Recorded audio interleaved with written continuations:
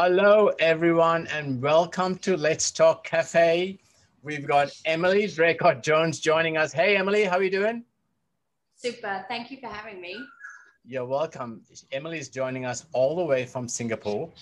And today she's going to talk about her midlife crisis and the importance of having your tribe. So, guys, before we um, talk to Emily, I just want to explain a little bit about, about Let's Talk and Let's Talk Cafe.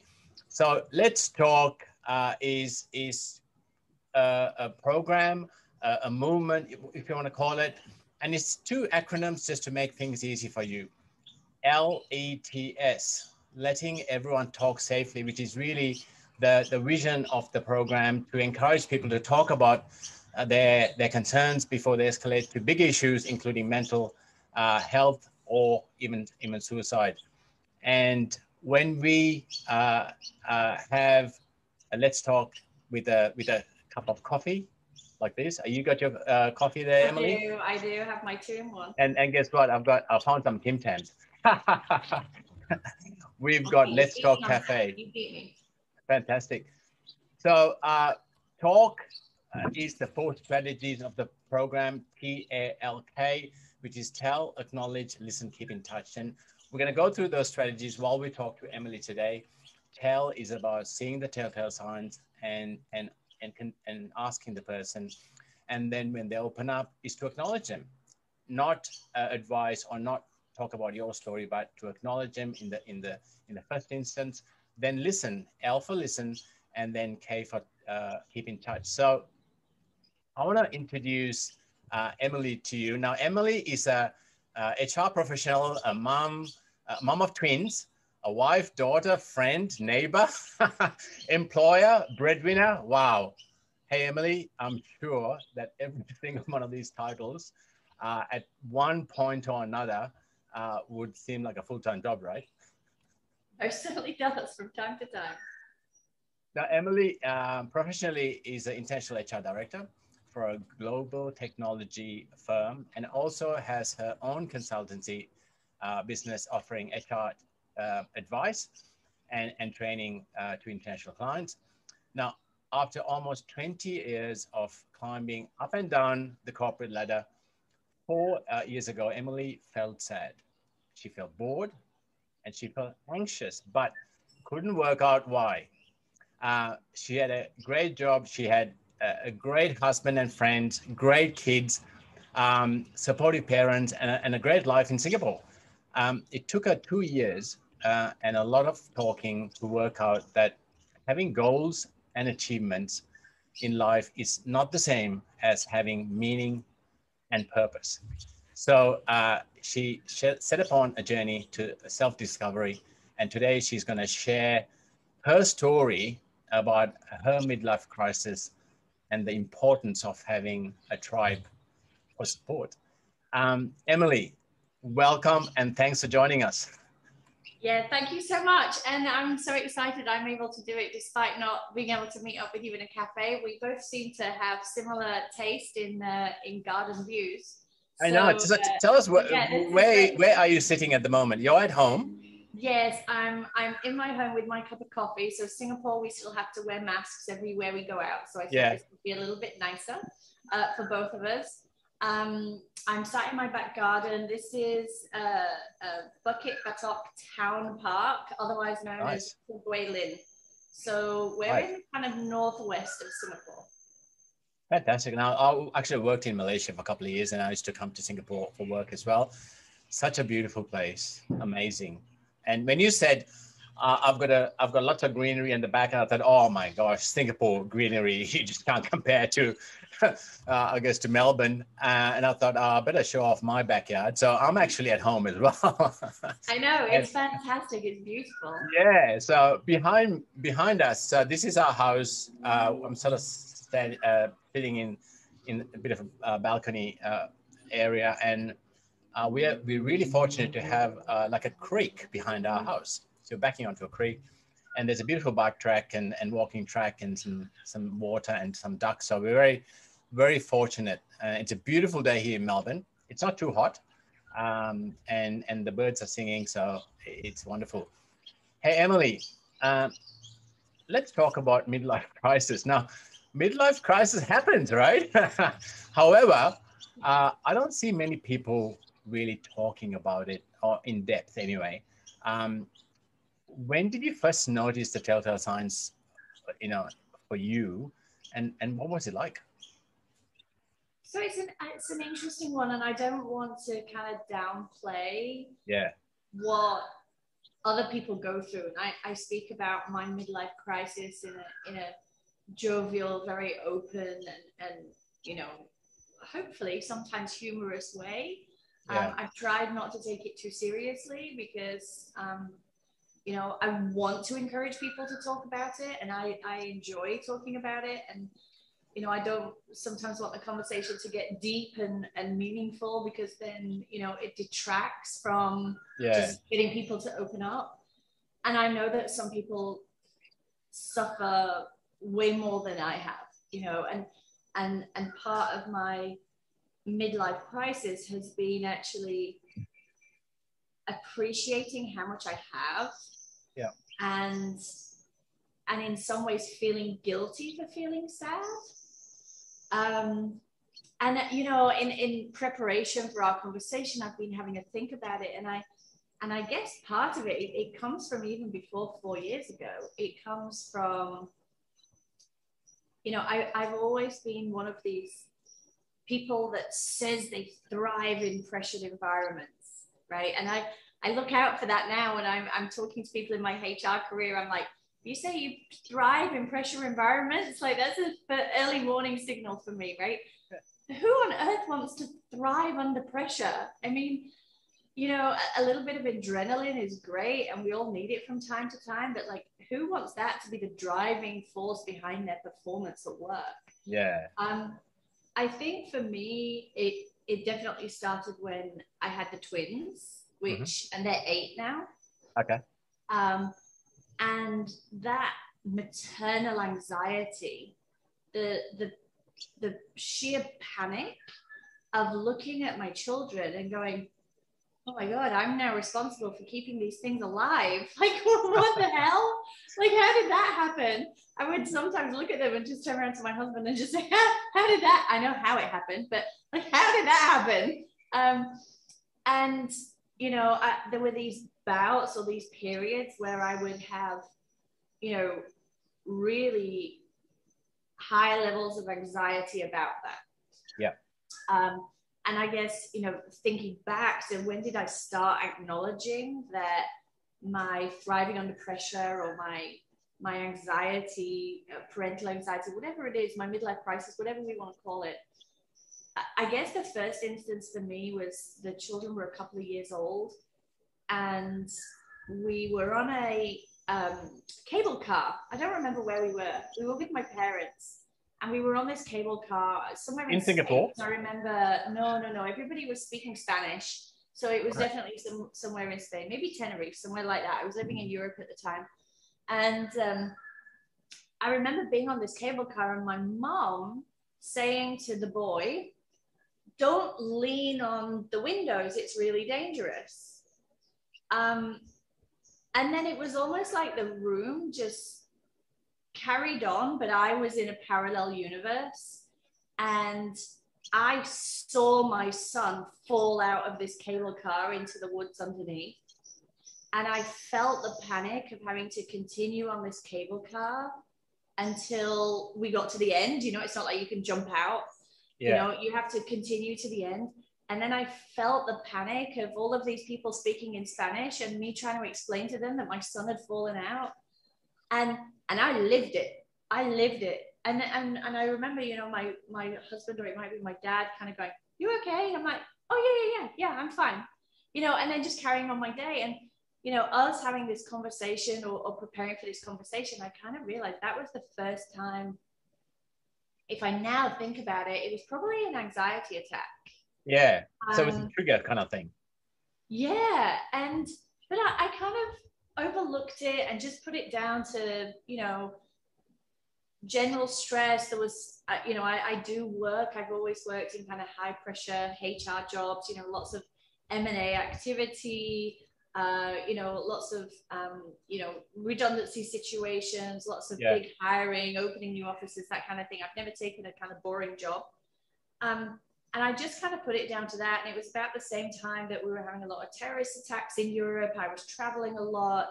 You know, I used to get really worried about, you know, being being trapped overseas and not able to get back to, to the kids. And all that kind of stuff. But that was like the first really big and, and you know, preparing for this conversation today, that was like the first really big moment I can remember where I went, hey, that that's not normal. That's not okay. Yeah. No. Yeah so, so, so then, you know, it progressed to feeling sad. Feel how did that happen? How, how did how did Yeah, that so- sad and having that constant anxiety or, or or periods of anxiety? So we we moved to Singapore. The children were about three. Yeah. Um, and I was definitely much happier when we moved to Singapore. Yeah. Um, you know, I didn't have the anxiety of all of the terrorist attacks going on in Europe. Um, my husband, uh, who is just a godsend, um, gave up his career to, to kind of support mine by moving to Singapore, and he was at home with the children. So even when I was traveling, um, I, I didn't worry about the kids. I knew they had their dad and they were Yeah. absolutely fine. Um, and, and I guess in Singapore, you live in a, I refer to it as my bubble of happiness, right?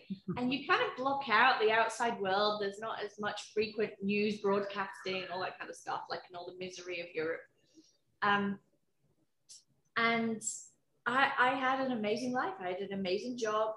Uh, I had um, amazing friends, amazing colleagues. Uh, we were very fortunate that, you know, quite soon after moving to Singapore, we got our permanent residency. So we didn't even have to worry about immigration issues. Yeah. Um, and yet, I, I kind of felt unfulfilled.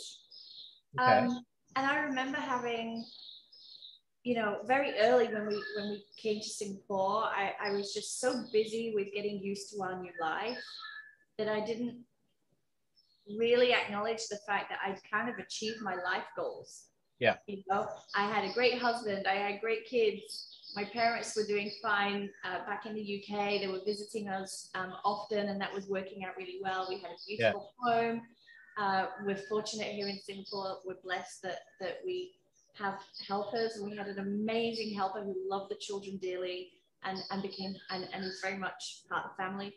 Um, I also, with a with a friend of mine, set up a, a network. I, I very quickly realized that I didn't fit into the normal expat wives group here Yeah. um, because I was the breadwinner and, and my husband was the stay at home dad. Yeah. Um, and so myself and another lady I'd, I'd met in a similar situation, we set up uh, a network for breadwinning expat ladies. Yeah. And so very, very early on, you know, maybe after a year of being here, I had this amazing group of really powerful, kick-ass women. Yeah. Um, and we talked about all the things that that I felt that I'd always felt I could never acknowledge. You know, we I hate the term imposter syndrome, but you know, women do experience it. We talked about diversity at work. We talked about being the only woman in the room. We talked about early signs of, of you know, menopause, perimenopausal symptoms. You know, we talked about all of this stuff, right? Yeah. Um, and, and having this great pool of people around me. And yet I still felt really unsatisfied. And I felt so guilty for feeling unsatisfied. So I didn't Yeah. talk about it. Um, you know, my husband would refer to it from time to time as, oh, you know, you, you always need something to worry about. So if it wasn't, um, if it wasn't work, it would be our permanent residency application. If it wasn't permanent residency application, I'd be worried about my parents' next visit. Yeah. If it wasn't that, I'd then be worried about, um, you know, what school the kids are going to go to and are the kids happy? Yeah. And if I wasn't worried about that, I'd be worried about a friend or like, he, he jokes that, you know, as, as soon as I don't have something to worry about, I look for stuff. Yeah. Um, and I suppose that manifested itself in this just constantly feeling this sense of discontent. Yeah, yeah. Um, and feeling really stupid for it. Yeah. Yeah. Well, because, I, I, guess you, you, you yeah. probably haven't felt like that. It was a new experience for you. When did you label it? And I, you know, I, I sort of use that term uh, lightly. When did you think it was this thing called midlife crisis? Like, when did you sort of acknowledge that? So very, very vividly, I remember sitting in. Um, there's a there's a lovely bunch of bars. Most of my conversations normally happen in a bar. Um, it's a good place to have it. and I remember sitting with a girlfriend who is in very similar circumstances to me. She has two kids, not twins, but she has two yeah, kids. Yeah. Uh, she's a breadwinning expat here here in Singapore. She's moved back to to, uh, to Switzerland now, but um, you know, breadwinning expat, works in HR, really su- successful in her career. And yeah, hers comes out as like this constantly angry, right? She's always angry at something. I felt sad, she felt angry. Yeah. And we started talking about it. And I, I, don't remember how the conversation comes up, but we were sat in this bar just off Orchard Road and we were having this conversation. And, and by having this conversation with each other, we kind of just realized that we'd achieved all our goals. Yeah. And Pro- professional we goals. Yeah, I guess professional goals, life goals. You know, we have two. Yeah. We both have a boy girl, like the the perfect package. Yeah. Uh, we have a you know great relationships. We have some money in the bank. We live in nice homes. Our parents are all well and healthy. This yeah. is before, before any of us had to worry about COVID. Um, you know, so so we sat there and we had this conversation. And we both realized, oh my God, we have no goals left. Um, and you know, because because normally, I guess you go through your life sitting setting your objectives, right? Yeah. You know, the, the, typical HR interview question is, where do you see yourself in five years? You know, yeah. I guess if if I'd ever set goals for myself, my answer would have always been, oh, I want to live in paradise. I want to get paid for traveling the world. Um, I want I, I want a, a happy family. I want my parents to be able to visit me. I want to live in the sunshine. I want yeah. my kids to go to a local school and speak Chinese. And and I, I'm, I'm, I'm myself and my friend, we sat there going, oh my God, we've done it. Like we, we've basically done life. And, and the reason we both feel, or I felt sad and she felt a little bit angry and, and frustrated yeah. we weren't striving towards anything anymore. It was yeah. more about okay where's the next holiday to be? Yeah, yeah, uh, you know when are my parents visiting for the next time? Um, you know getting through milestones at work i guess the next cycle of performance reviews the next big project rollout. Um, and we both just realized life was life was amazing but it's really dull if you don't have goals. And i yeah. and i guess yeah maybe that's what happens when you get to that point in your career you know that kind of early 40s maybe. Yeah. and and you kind of have reached the level you want to reach. Yeah. Um and then you suddenly i guess just so you know so so what's the meaning of life? And, yeah, and yeah. It, it sounds it sounds like a really really big question but i guess that's what it comes down to. Why are we here you know? And and and people would i guess have conversations around success and legacy. And you know i was still feeling like i still don't know what i want to be when i grow up you know? Like i've still i've still not worked out who i am yet. How can i be 40 with two kids and responsibilities and a great career when yeah. Like uh, yeah and it all just manifested itself into this this yeah. big so did you feel like you were for me. Did you feel like you were kind of on autopilot up to that point and then all of a sudden you've sort of woken up and going what what am i what am i here for kind of thing yeah i i it was definitely this lacking of meaning and purpose and sure. you know i'm i'm very grateful that i never had dark thoughts you know I, I never went down that path i don't consider that i've ever struggled with with i guess mental illness you know yeah. if you talk about it like that um, for me and now looking back over i guess the last four years and, and more in detail looking at where it stems from and maybe the last eight years yeah you know uh, it's definitely for me just being around general anxiety. Yeah. I, I guess is is how I would frame it. Sure. Um, and that I can I can always find something to be anxious about. Always. You know, even when life's perfect, I'm never just content. Sure. And, and that not being content, I think, is for me the manifestation, I guess is the word of, of my midlife crisis, just not being content, not not sitting in the moment with meaning and purpose and enjoyment and fulfillment Yeah. and fulfillment. Yeah. So, so Emily, um, it got to got to a point where um, you did go and see a counselor. Did you go and end up seeing a counselor? I did, and it was it was the same friend, I guess. Um, you know, through my tribe, and I, I talk about the importance of tribe. You know, having now got to this point, you know, maybe four years ago, where I realized that I I was struggling, or I, I was, you know, sad, Yeah. uh, and frustrated, and and and not having meaning um, for about two years, I just went on a journey of having conversations with people and having really open dialogue, especially with other women, um, you know, and, and talking about hormonal changes and parental feelings and how your relationship changes with with your partner after you've had children and Yeah. through a series of conversations with lots of people that I consider in my tribe, these people that I trust that, you know, have similar life experiences to me. Um, it took me about two years to actually go, okay, I'm, I'm, I'm now not going to just talk to people in my tribe. I'm going to go and talk to somebody whose job it is to listen to me Yeah. um, and, and not just kind of have conversations over wine. Yeah. Um, and uh, yeah, it was the same friend that encouraged me to do that, uh, which, which I did. Um, what was I, it? I guess I guess I struggled with the Yeah. idea of going and seeing a counselor because like I, I'm I'm a psychologist by trade, right? I I um well by at least by education, I did a psychology degree.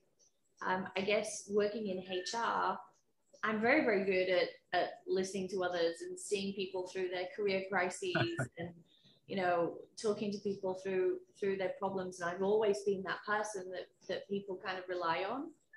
And so i yeah it took me two years to acknowledge you know maybe it'd be really useful to go and actually talk to somebody that's paid to listen to me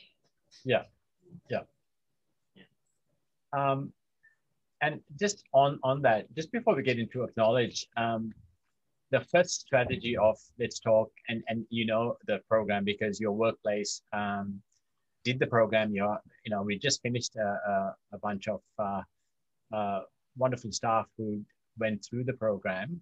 Um, seeing those telltale signs. Now, in your case, the telltale was probably different to to your friends, right? And and and I guess everyone has different types of telltale signs.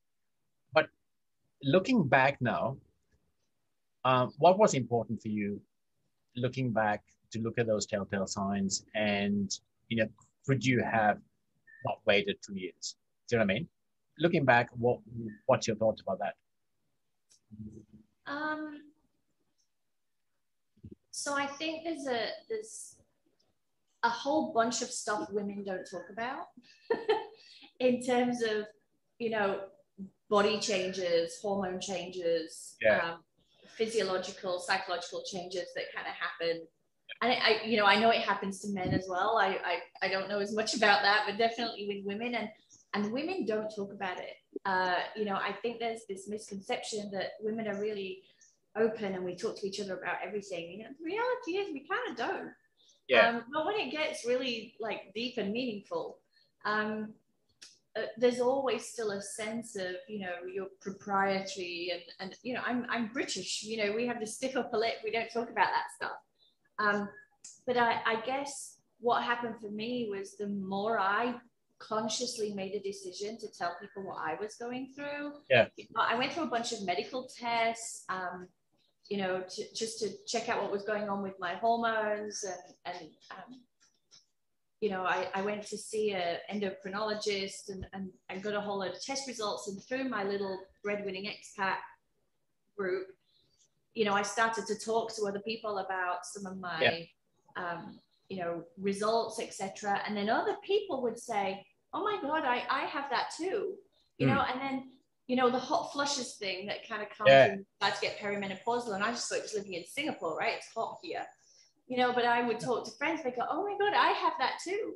And, yeah. and, and then I guess the, the number of, oh my God, that happens to me too. That for me was then all of these telltale signs that yeah. what I was going through was something that loads of people go through and it's okay. It's not just me being a bit weird and it's not just me being a little bit, you know, um, you know, looking for things to be anxious about, that yeah. actually it's a thing right? And, it and, it probably, yeah. and it probably has a label and a name, and there's probably something that somebody can do to help me with it. Absolutely. Um, but it took me a really, really long time and an awful lot of, oh God, me too's. Yes. Um, for me to just go, okay, I, I'll, I'll, then it's okay for me to go and talk to somebody about it because it's probably got yeah. a label and it's probably got a cure.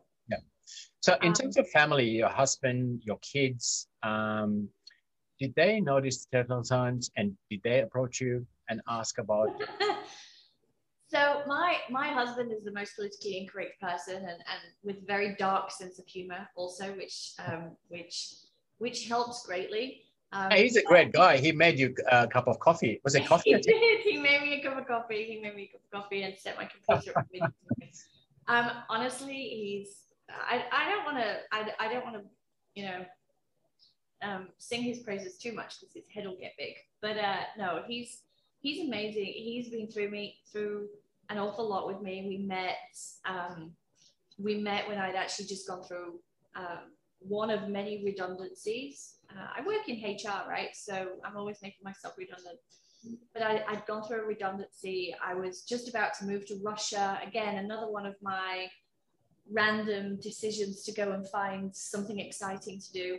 Yeah. Um, and then I ended up not moving to Russia and moving to Singapore for the first time. This is the second time I've lived in Singapore. So he was back in the UK and I was here. Um, and, and I guess he always acknowledged the fact that I was a bit weird. Yeah. Um, he's always acknowledged the fact that there's some harebrained idea or scheme that I've got that, you know, I can't do anything simply, calmly, and with contentment. Um, he's he said to me, we've been together for maybe 11 years now, and, and you know, looking back, the, there's a constant theme of the things he says to me, right? It's, oh my God, you've always got to have something to worry about. Um, why can't you just be content? Why can't you just be happy? Um, and so I, I guess he's always recognized it in me, probably more than I have, and, and probably way before I did. Um, and and and he tolerates my weirdness, which is great. Yeah. My kids, I guess, as they got older, I just became increasingly aware of my behavior around them. Yeah. Um, it became much easier once we moved to Singapore. It, it's much easier to be happy here for me, to be honest. Um, you know the the sun is shining and and you know we have great help with the kids. And if it means i want to sleep all morning on a saturday um, you know the, there's other people to take them to the park and whatever. So i've um yeah i yeah there was not really necessarily anybody coming to me saying oh i think you have a problem.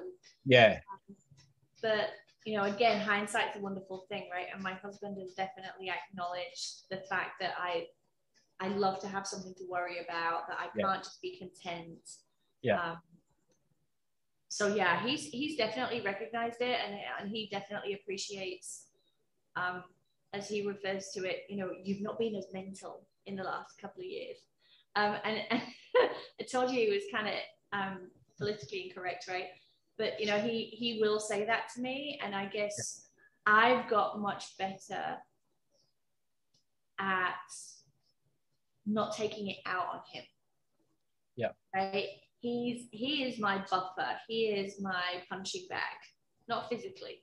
Um, but you know, if if I'm having a crappy day or if I'm, you know, struggling with something, you know, guarantee you he's he's the one that that takes the brunt of it. Um, yeah. That manifests itself in just me being annoyed that you yeah. know he's been to the pub and he smells of beer, or you know he's he's I don't know been to the shop and and bought the wrong milk or whatever it is. I can I can yeah whatever's going on with me, I can find something so that it's his fault. Yeah, um, yeah. And I, and I guess we all do that, right? We all yeah. have that person that we're safe enough with that that we can take it out on. Yeah. Um, and you know, I, I would at times through my own anxiety and not feeling content and you know all of the stuff that I I you know like he says I find stuff to worry about you know there are occasions when I would even question our relationship and just say well maybe the reason that I'm not content and I'm not happy is because our relationship isn't good and you know maybe we should separate and maybe like you know stop being stupid right? Go go to sleep. You know you'll be fine in the morning. Um and you know i i guess all of this all of these memories and these conversations that we've had are, are coming back now that you're asking me the specific questions right? Um, so yeah hindsight's a really a really wonderful thing. And i get I, over the last couple of years there's been something that I've said quite a few times to some of my friends. It's like, why does nobody tell you this stuff? Why isn't there a book about this stuff?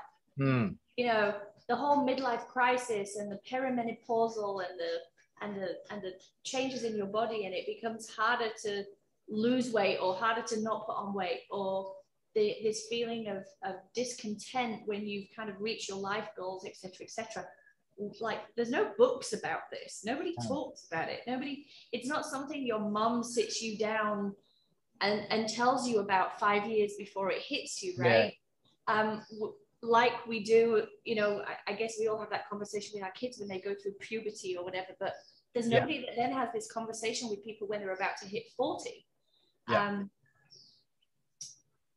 so yeah I, I, don't know whether I even answered your question there. I just rambled on. No, you did. You did. I, I, just wanted to. That, I really wanted to acknowledge you. And I, I really want to acknowledge you. Uh, just listening to you, being really candid, really open, really honest. You know, uh, no sugarcoating, and and really sharing. You know what, what your husband said, what you said, and I think it really resonates with people who are listening because that this is real life. You know, this is not this perfect uh, book or perfect uh, theory or you know here's a dot point follow this kind of thing. And and what's important and what we talk about in let's talk is seeing those telltale signs in the in the first instance. Surely you you you guys definitely saw the telltale signs. Um, and what's important is to to to talk about them. Now it's not always easy to talk about them in, in, a, in a perfect scenario uh, because there's a lot of emotion attached to those as well. Uh, but it's it's really um, having the empathy, having that you know uh, detachment, almost connected still to to see the telltale signs and approach someone. And you know, people ask me, how, how do you see the telltale signs? well, you've been given two eyes, two ears, you know, a heart to feel and a brain to, to, to think and know so use your use your faculties of sight. You know, see the telltale signs, hear them, feel them, and and approach that person. And you know, it's not perfect words to approach and start a conversation, but I always say if you have the right intent, if you have have the love and the care, you, you will say the right thing. Um, but I really want to acknowledge you for your honesty. Um, in, in, when we talk about acknowledging, and, and that's the first thing that when people open up, uh, Emily, as you know, what we say. You know, the, that first reaction or action uh, when when you've heard a story uh, and and that reaction, and sometimes it's not easy to to um, to act with with empathy and gratitude because you've already had your little uh, autopilot, you know, thinking of and and putting on on your on biases into it. Um, and a lot of people do that, and that's normal almost. But I think acknowledging the person uh, is such an important part. Tell me, um, how easy was it for you to acknowledge that you were going through midlife crisis? Firstly, personally, um, for yourself. I think what's really interesting for me is that I almost felt like I didn't have the right to have anything to complain about. You know, I, I have an amazing family. You know, um, I, I have amazing opportunities. I'm incredibly privileged and I'm so grateful for my privilege. Um, and so I, I, I felt and I still feel in some ways. Yeah. I don't have a right to have anything to complain about. Okay. um, and even now, I'm like, you know, why is Jetha having this conversation with me? Because my life is just like so, you know, that there's there's nothing special that's happened to me, or there's nothing different that's happened to me to everybody else. But I guess that is the point, right? This what I've gone through, it, it's so normal, and it doesn't matter whether you're in HR or sales, or you're unemployed, or you work in a supermarket um, it, it, doesn't matter if you're male or female, whether you're a breadwinner, whether you've got savings in the bank, whether you're yeah. home, right? Whatever the reality of your life is and whatever the circumstances of your life, whatever they are, you have a right to feel discontent.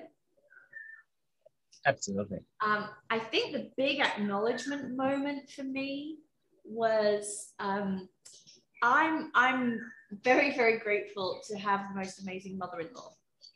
Um, not many people can say that, but I absolutely uh, adore my mother in law. And it's, it's really interesting because I'm incredibly close to my own mother and can have very open, candid conversations with my mom and my dad. And I can acknowledge any feelings or fears or concerns with them without, you know, any issue at all.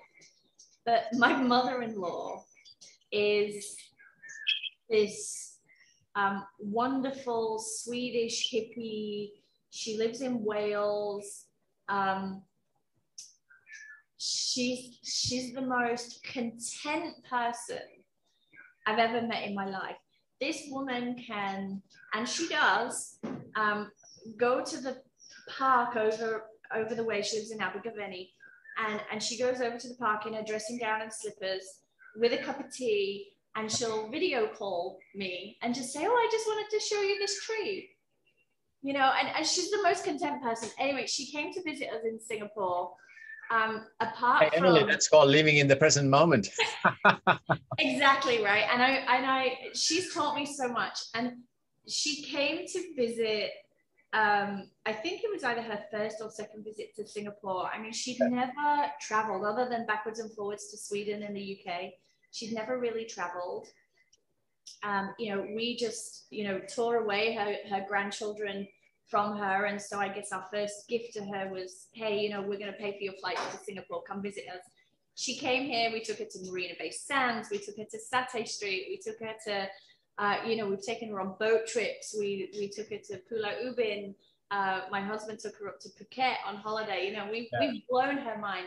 And I remember sitting with her in a cafe once here in Singapore and just saying, like, how how did you become so happy? You know, like her her career after her boys, so my husband and, and uh, his brother, after the boys left, she's basically worked her career in an underwear store in Abergavenny. So if everybody anybody's ever been to Abergavenny and bought pants or a bra, they've probably met my mother-in-law. Yeah. Um, she's worked there her entire working life.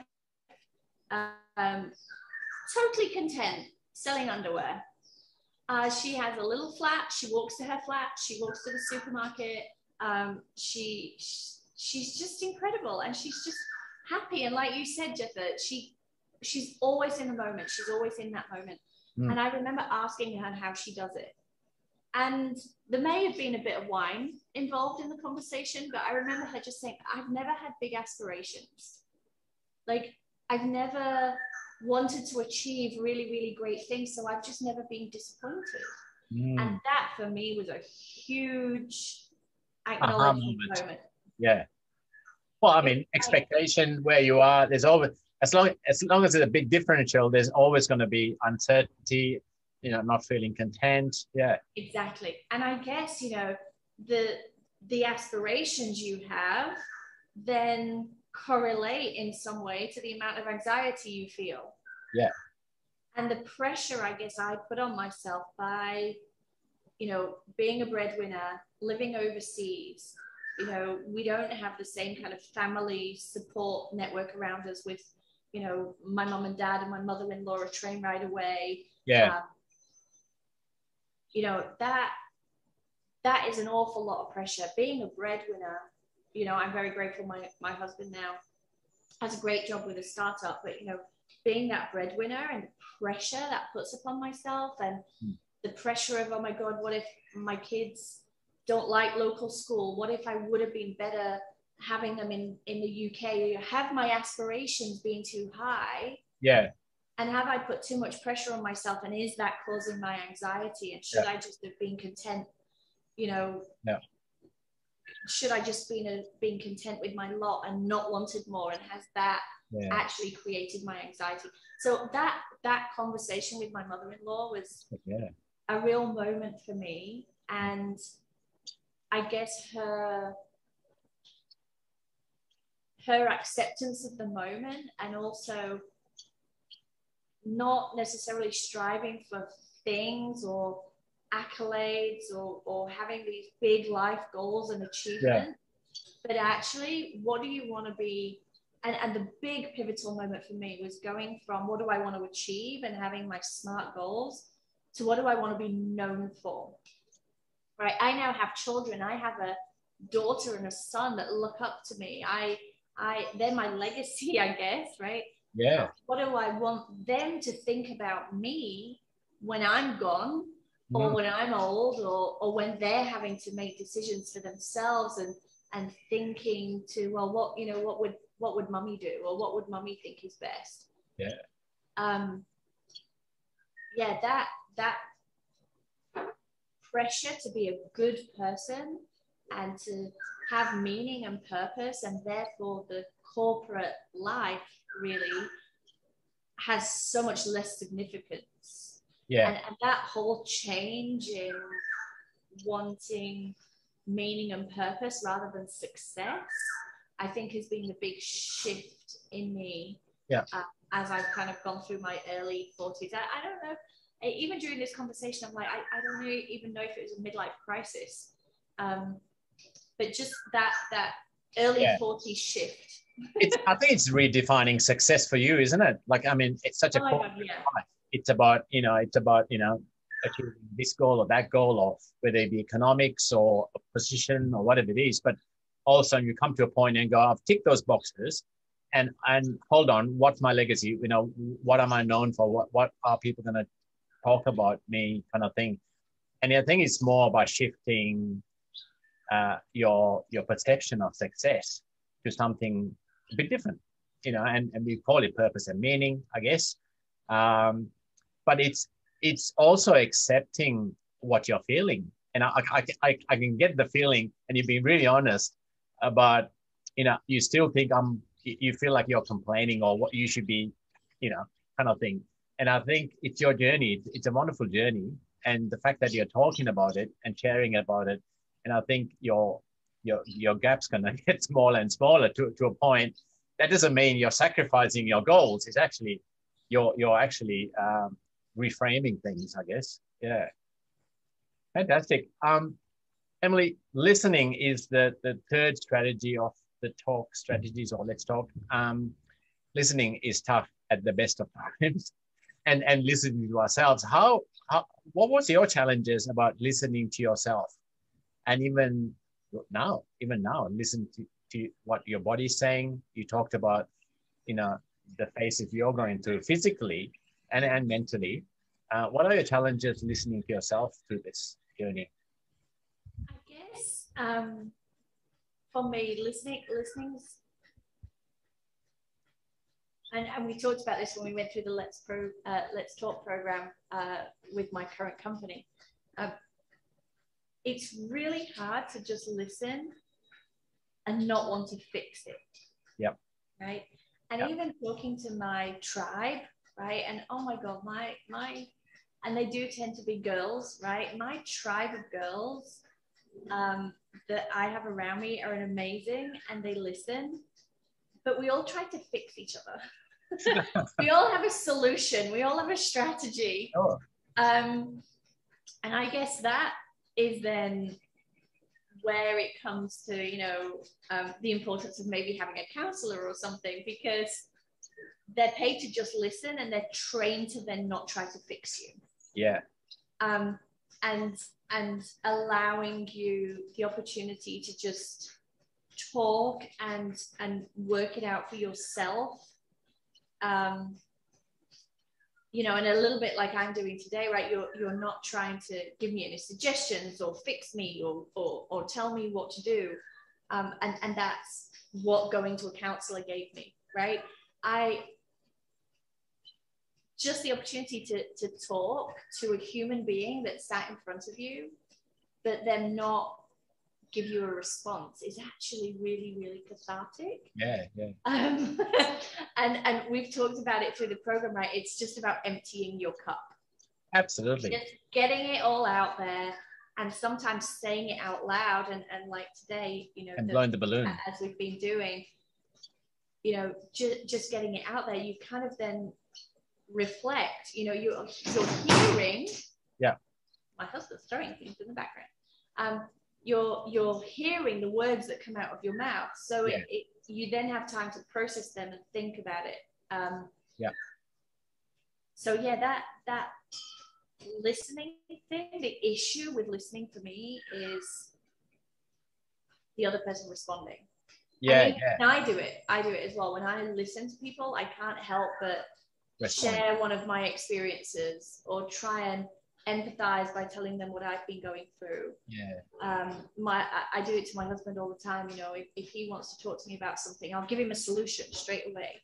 Um, and actually, that's not what we need. We need time to process um, and and to come up with our own solutions because your own solutions are always so much better than solutions given to you by somebody else. And they could give you an idea or or, or trigger or whatever but but yeah, the reason why you know going to a going to a counselor was good for me was that they they didn't try to fix me, and I thought they tried to fix me, which is why I put it off for so long. Um, but yeah, they they just listen and they go, yeah, okay, yeah, yeah. Emily, I've got I've got a, a, uh, uh, I guess a different angle of looking at something. And you said they didn't try to fix me. Um, they will only try to fix you if things broken. There's nothing broken, Emily. Exactly. There's nothing broken, and and I think um, uh, what people because we're so pressured uh, as human beings are so pressured to fall into a, a certain box, and as soon as we fall out of this box, uh, something's broken. You know what I mean?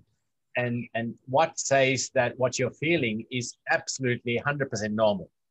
You know, you know what says that if I've got a, a bad back, well, that's part of life. You know, it's got a bad knee. It's, it's a part of life. And uh, if you're feeling uh, the feelings you're going through, and, and people who are listening to this at home, uh, if you're going through something like this, whether you call it midlife crisis or something else, you know, um, uh, it, it's not that it's broken. It's that this is how you're feeling, and it it might need uh, some support.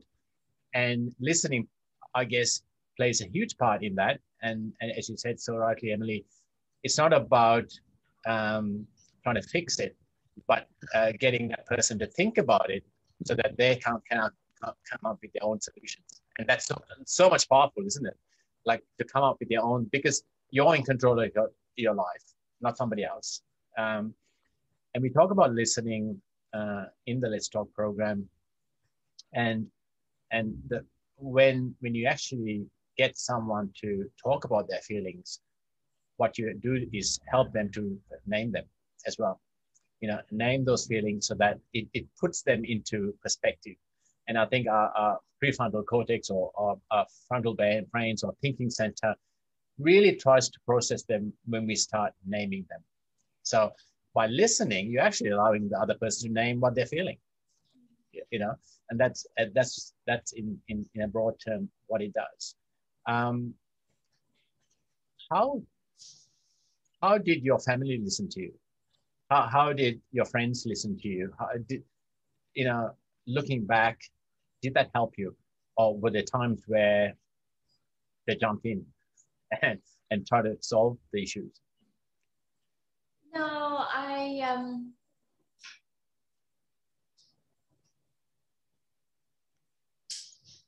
Thank you. Um,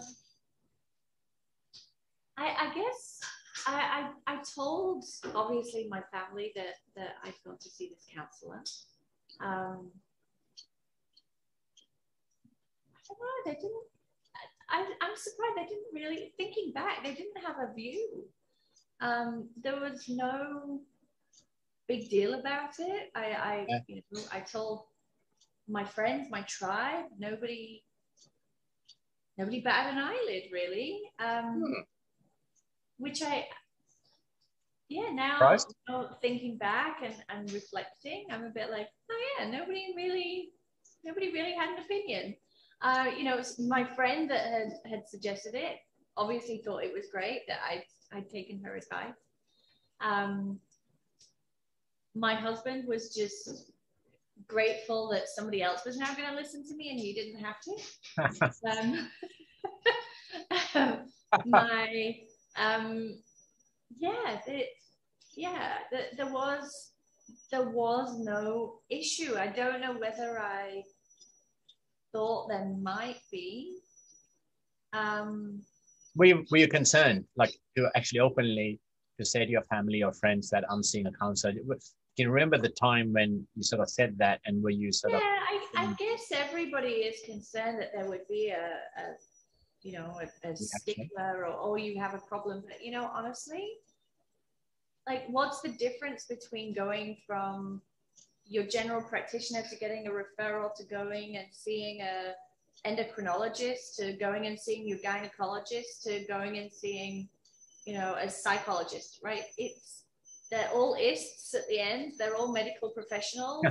if you think about it, in, in most cases, and I'm grateful it's kind of covered by our insurance, you know, so, so. That helps. yeah, so it, it's kind of, it's no different. It's just, it's a different part of the body that, that somebody is taking a look at. Yeah. Um, and, and so I don't really know why I've put it off for so long. I, I'm, I'm now actually questioning myself. Now you've gone and asked me the question. I'm like, why did I leave it so long? Um, hey, Emily, why did you leave it so long? I don't know. And, and hindsight's a wonderful thing, right? Um, uh, yeah, maybe um, maybe the last few years would have been really different if I'd gone and done it sooner. I don't know. What what what what do you think stopped you um, going there? Maybe time. I mean, it, it, was the same. You know, I I, I took a bit of a, a, a break from work a couple of years ago. Um, I I was doing a couple of other projects, and and, and part of this whole finding meaning and purpose. Yeah. Uh, so I had a project that finished I had an opportunity to take a little bit of a break. I did some travel and um, set up my own consultancy business and, and, and worked on some smaller projects for a little while. Um, and I guess that gave me some time, mm. you know, and actually that time to then go for doctor's appointment, go to the mm. endocrinologist and, and not be worried that my appointment would, you know, be missed because I was on a, a work trip or, um, yeah, I guess I guess prioritizing it. Yeah, yeah. Now I'm thinking about it. It's it's the it's we put off so much, and quite often the stuff that we put off is is the stuff that we think is the the least important or not so critical or you know will have the least impact or whatever. Um, and I guess I just deprioritize taking care of myself that's such an important point you raise, Emily. Uh, and we do that. I do that. I think we all do that, especially when it comes. You know, we look after our, our, our parents and our and our partners, you know, wives, husbands, and our kids. But sometimes we put ourselves to last. Yeah, and um, I always look at that that saying, you know, put on your oxygen mask on first before helping others, so that you can help them much. Oh goodness, yeah, and and you know, looking back now, um, there was a conversation I had with a with another member of my tribe, a, an Aussie friend. Yeah. Um,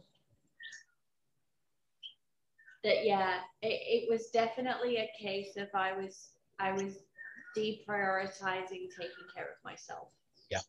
Um, that I, you know, like we talked about right at the beginning, you know, I'm I'm a mother and I'm a daughter and I'm a friend and I'm a HR professional and I have my networks and I have all of these things going on. Yeah. And this uh, this Aussie friend, another HR professional, another breadwinner. Again, I like to surround myself in people that can relate to me and relate yeah. to my circumstances. I think that's really, really helped me. But this particular friend, she talks about the how life is kind of cyclical, mm. and and you can't be good at everything all of the time. You can't be a good mother at the same time as being a good a, a good wife and a good friend and a good daughter and a good neighbor and a good employer and and you know what sometimes you just got to give yourself a break and allow yourself to fail at a couple of things so that you can prioritize on other stuff mm. and i guess we've done that with our friendship you know yeah. our friendship is something you know we won't talk for weeks and then you know we'll get on one of our balconies normally hers or mine with a bottle of something nice um, and and it's and it's like we haven't been away and we just catch up and it's because we've been focusing on our families or our careers or, or uh, you know our husbands or whatever um, and and she talks a lot about just giving yourself a break and allowing yourself to be bad at something while you focus on something else yeah um, and and yeah i think that the fact i'm even recalling it and that must be three years ago we had that conversation um, the fact that I'm remembering it now means it definitely had a, a huge impact on me. Sure. Um, and this is the thing I, I picked up all these little things from from what people have said to me and and certain things have stayed with me and I'm sure there's a whole bunch of stuff I've forgotten. Yeah. But you know, people don't realize the amazing impact they can have on somebody else just by taking the time to listen to them and mm and, and acknowledge what they're going through and relating and not making them feel crazy or weird or, yeah yeah or whatever um, and and so i guess part of doing this as well is is not only to encourage other people to to find their tribe so find the people that get you yeah find the people that have got time for you and find the yeah. people that give you energy but also then allow them to help you. Yeah. You know, allow them to listen to you. Absolutely. Um, is has has definitely been um, a huge part in me changing my aspirations, becoming more content. Yeah. Um, changing from, and I guess it's it's a personal branding thing as well, right? Going yeah being somebody that is striving towards a thing or goals to actually striving towards being somebody that focuses on what they want to be known for. Yeah. And, you know, really concentrating more on, I guess, my whole brand. That that time out was really interesting for me. And I know not, and again, it comes down to privilege, right? I'm very privileged that I'm in circumstances that meant I, I could take a bit of time off work when I yeah. needed it. And the timing was perfect. Uh, and it allowed me, I guess, to just sit and, and reflect and relax a little bit. But it also completely freaked me out because I lost my title, mm. right? I went from being able to introduce myself as, oh, hi, I'm Emily. I work for this particular tech firm and this is my job title. Yeah. I then had to find another way to introduce myself. Yeah, yeah. I no longer had this title. And, and we put so much emphasis on our job title. Yeah, yeah. And when and, you don't have that, yeah. and when you don't have that, I suddenly realized, I guess, that I was a really boring person, right? I had like I had nothing to introduce myself as other than my job title. Yeah. And and what's really, really helped me in terms of finding meaning and purpose and you know thinking more and, and working more on what I want to be known for rather than what I've achieved. Yeah.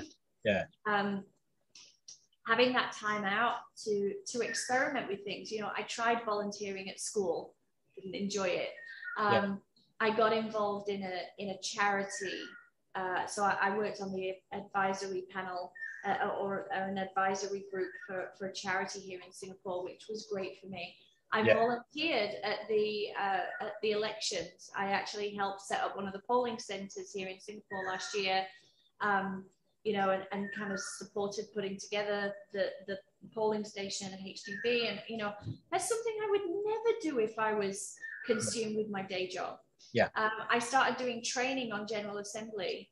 Uh, so there's tra- General Assembly is a training organization, and I, I give some of my time to support people in career transitions or early career uh, with their personal branding and their LinkedIn profile and, and networking skills and negotiation skills. And so I found all of these things now that actually give me meaning and purpose, which meant that when I found my next, I guess, you know, corporate gig. Yeah, yeah. Um, and this corporate gig really does, and the fact that we're we're working with you on Let's Talk shows it's an organization that really, really kind of cares about people and has good values. And It's definitely aligned. There was definitely a pull factor for me in terms of yeah. cultural fit. Yeah. Um, but the fact that I also have all of this other stuff going on in my life means that my corporate life is no longer all consuming. Yeah. And and actually there are things that mean I turn off my work phone and I can step away from stuff and I don't get as, as stressed out and I'm not so focused on you know that adrenaline or looking for yeah the yeah crises at work right? Because I've got other stuff I'm now interested in. And yeah. I'd maybe spend 15 to 18 years of my my corporate professional life only focusing on the day job and not having all of these other interesting things going on yeah um which which actually yeah, just it, it made me very, very focused on just one thing.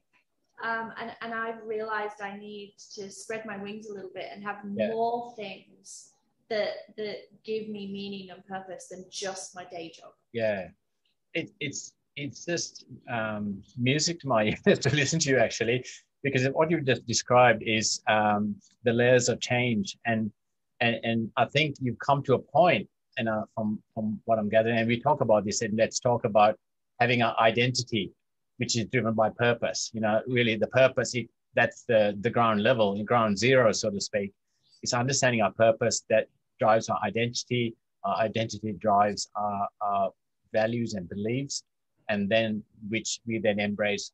You know what we learn, what what we want to do in our life, and then create our behaviors and environment. So uh, it, it sounds like you know you really gone that you've actually looking below the, the the normal levels and and when you talk about branding you're looking at you know your own identity and and what you've discovered is other things you know it's not just about about work it, it's having that balance and uh, it's a wonderful journey uh, that you're going through emily.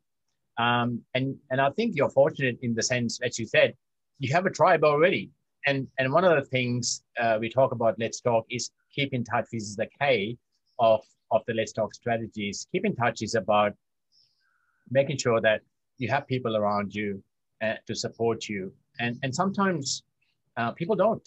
So, some, sometimes they feel that they can't uh, keep in touch with their family or, or, close friends or they're not ready to do that yet um, but there's so much other support services you know you know, whether it be GP or counselor or a call center, uh, wherever you're living, uh, you have a tribe. And, and it's, a, it's amazing that you have that uh, diversity of friends um, uh, to have the glass of wine, obviously, but and give you some advice, but you have people around you, which is amazing. Um, going forward, uh, what's the most important support for you going forward? So it's it's definitely um, you know my kids, my parents, my husband. They are yeah. you know the the inner sanctum, right? Yeah. They're the they're the, the close tribe. My mother-in-law as well included, um, and and we are a very open, communicative family. Um, and and I'm very very grateful for that. And even though my you know my mother-in-law is in Wales and, and my parents are back in the UK, you know there's always WhatsApp chat going yeah. on, and there's always conversations. And my mom's very good at nagging me to get off WhatsApp and actually go onto a call with her every now and again. She's very good at that. Uh, so this is definitely you know that that's my inner sanctum. My my tribe, I guess, it's interesting because it's a very transient tribe. You know, yeah. I live in Singapore, which is an incredibly transient environment, especially in the expat community. Yeah. Um, I do focus a lot on ensuring that I have diversity of tribe. I want yeah. diversity of viewpoint. I have friends and members of my tribe from every cultural background you can think of. You know, mm. we were we were talking it about it recently at, at, the we have a mahjong night. The girls have a mahjong night every now and again. Not a lot of mahjong gets played, but we have a mahjong night, and we were talking about it. And there was somebody from from uh, from Scandinavia there. We had a couple of uh, local Indian uh, heritage or Indian ethnicity uh, ladies. We had um, a couple of Singaporeans, Taiwanese, uh, you know, Australian, New Zealanders. You yeah. know, it, it's and when you look at the the diversity of my group, my tribe, uh, I'm I'm very very grateful for that. Yeah. And you know, one of the reasons why I set up, or with Sasha set up this breadwinning expat group, was actually because the the nature of the expat community is so transient. Yeah. Rather than having just one or two friends it is nice to have this entire group mm. because just as people are leaving there's other people coming in yeah right and and you can support the newcomers just as much as you stay in, in contact with the leavers and obviously there's people within the community that i'm closer to on a personal level than than others but there's also a, an opportunity and we have a little facebook group you know, you can just post on a, a friend of mine, uh, uh, a, a, British lady, an expat, yeah. and a twin mum. She had a bit of a rant on there the other day, and straight away the community have gone, right, okay, we need to get you out of your house. We're going for drinks on Thursday. Um, and, and so that's definitely my, you know, my my lifeline. And there are people coming to those drinks that have never been to one of the the, the breadwinning expat group yeah. drinks before. So there'll be people that know each other really, really well. And, and I've known that particular lady now for coming up to five years, I think. Yeah. Um, and yet there'll be other people that I've never met before. And yet we're all in the same circumstances. We're breadwinners, we're in expat, you know, we're an expat in Singapore. So we get each other instantly. We we have that immediate connection. And so I think, you know, in, in terms of creating your tribe, and finding your tribe. It's finding things that you're truly interested in. Hmm. And, you know, I recently joined a book club. and I never thought I would be the type of person that joined a book club. And oh my God, I love it. It's absolutely amazing. Like, it's just a group of random women who I would have never met before. Um, and and we meet you know once a month. We do it via zoom. Yeah. Um, and it, and it's incredible. And and yeah we talk about the book. I normally i'm an audiobook listener so, yeah. so that's me. yeah. I listen to my audiobooks but just having that connection that's exactly with other people yeah. that like the same stuff as you. Yeah. Um yeah I, I think that that's definitely the way forward for me and not it's, having all of my social network revolve around my work. Finding authentic ways of meeting other people that have the same mm. interests as you, that come from the same environment as you, that get you. Yeah. Um, for me is is definitely the the way forward. It's really yeah. And that's that's exactly what keeping touch is all about is that connection. And we're a communal species. We're not meant to be alone. You know a, a long long time is cool it's it's good. Uh, but really we need that connection. And whether it be a book club or you know uh, anything else that uh, people get up to is to be connected.